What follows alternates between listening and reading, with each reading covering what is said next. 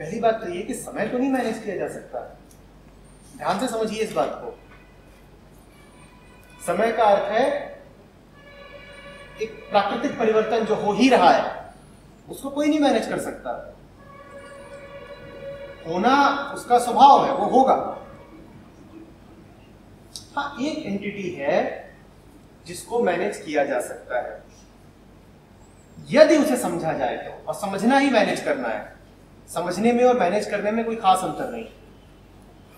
Once understood it is manage और let's put it this way that once understood there is no need to manage understanding itself is management एक बार समझ लिया तो फिर अब मैनेज नहीं करना है।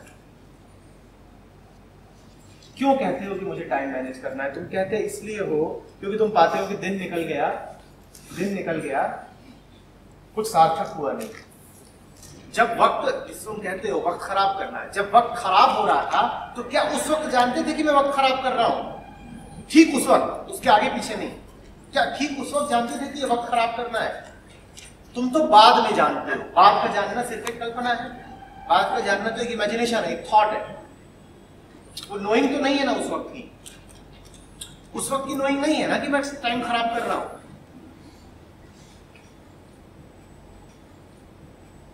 Don't think that time is being wasted.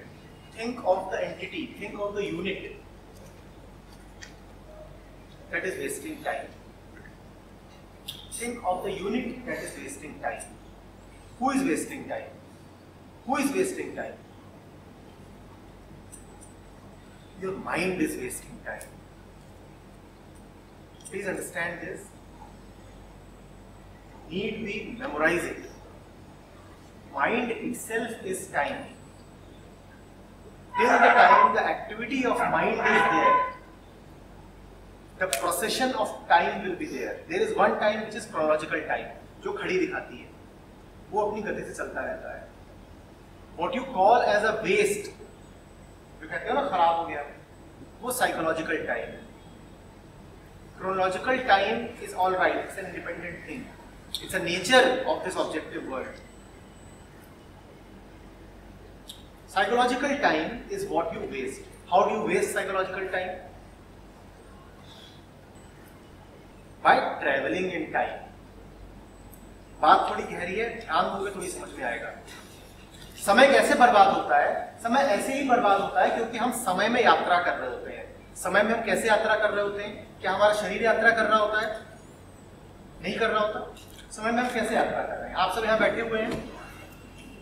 पर आप में से बहुत सारे लोग हैं जो समय में यात्रा करके पौने पाँच बजे पहुँच चुके हैं। कि पौने पाँच बज गया है और मैं इस कमरे से बाहर हूँ और मुझे जो जो करना है मैं कर रहा हूँ।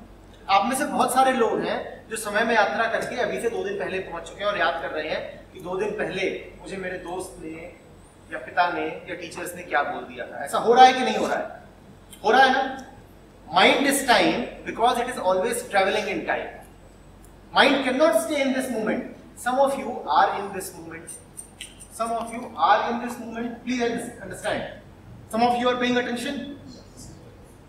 क्या वो पास्ट या फ्यूचर में है क्या वो टाइम में है टाइम मीन्स पास्ट और future do understand this time means either past और फ्यूचर आप में से जो लोग ध्यान दे रहे हैं, क्या वो टाइम में है वो टाइम में नहीं है ना और बड़ी मज़ेदार बात निकल के आई जो टाइम में नहीं है, उसका टाइम खराब नहीं हो रहा और जो टाइम में है, वो टाइम बर्बाद कर रहा है।